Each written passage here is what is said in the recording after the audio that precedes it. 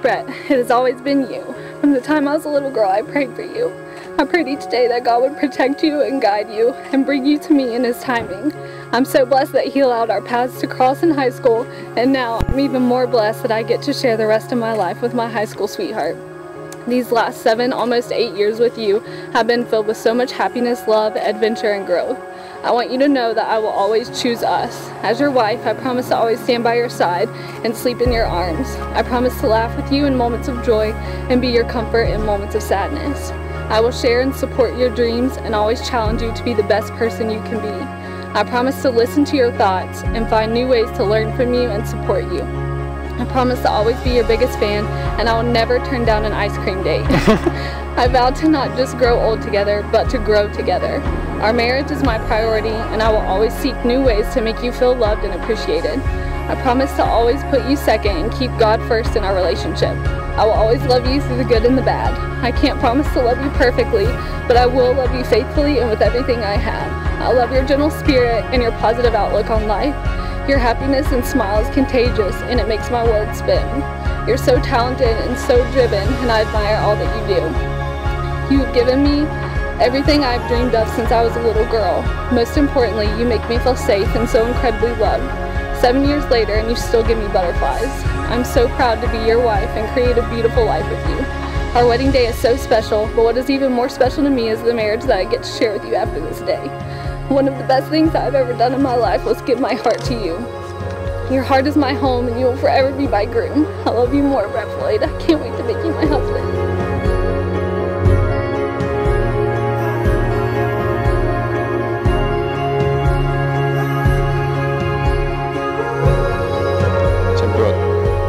I stand here today thankful to have met you at the young age of just 16. The past almost eight years of loving you have been the best and most memorable years of my life. From high school football games and proms to long distance relationships in college and now discussions of buying houses and the number of children we're going to have. I have learned so much about you through all of this. You love like I've never seen before. You commit to your goals as if your life depended on it. And you make logical decisions that always align to your values. The decision you made to marry me, I promise, will be the most impactful decision of your life. Today, as we agree to spending the rest of our lives together, I want you to know what I'm promising. So, by saying I do today, this means I promise to invest my love, my time, and my energy into creating the greatest life for us. I promise to always listen, offer advice, and fully support anything and everything you do. I promise to approach our disagreements with an open mind and promise not to walk away until you see that I am always right.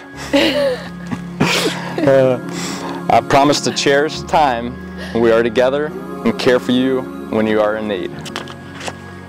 Lastly, promise to keep our life interesting and fill it full of memories that will never be forgotten. I will never stop loving you.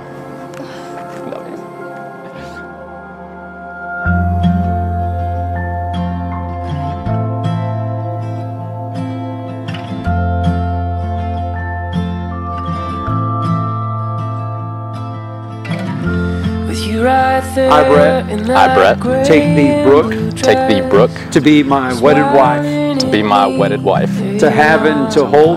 To have and to hold. From this day forward. From this day forward. For better, for worse. For better, for worse. For richer, for poor. For richer or for poor. In sickness and in health. In sickness and in health. To love and to cherish. To love and to cherish till death do us part. Till death do us part. According to God's holy word. According to God's holy word. I give you my promise. I give you my promise. Brooke, will you repeat after me?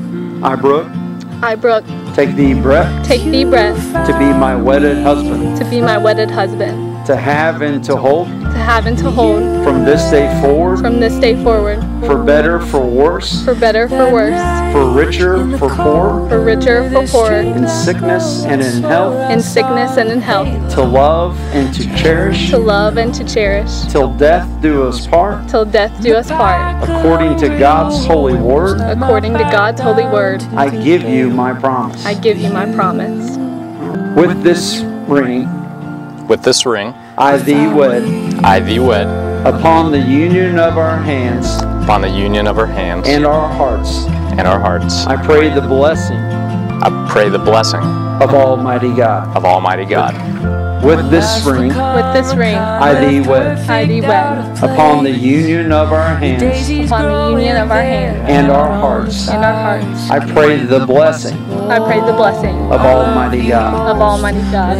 I now pronounce that they are man and wife. In the name of the Father, the Son, and the Holy Spirit, amen. You may kiss your bride.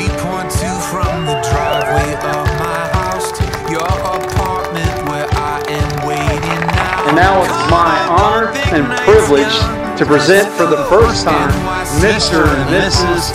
Brett.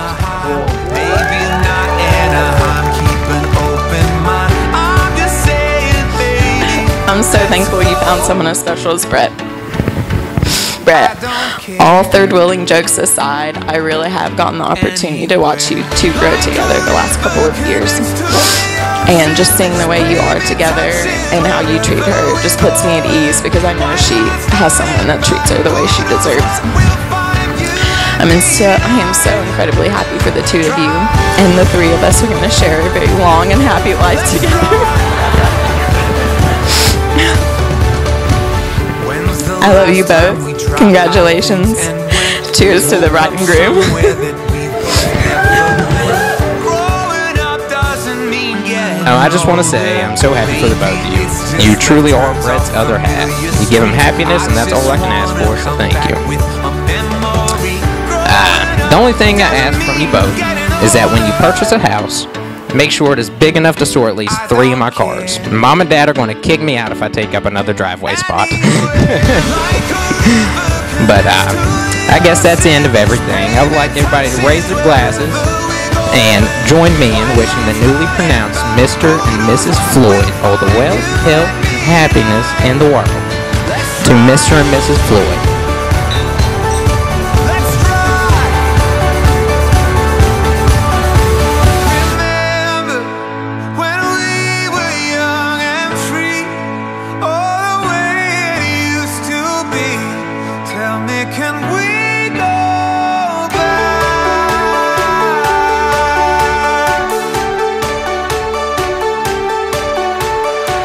3.2 from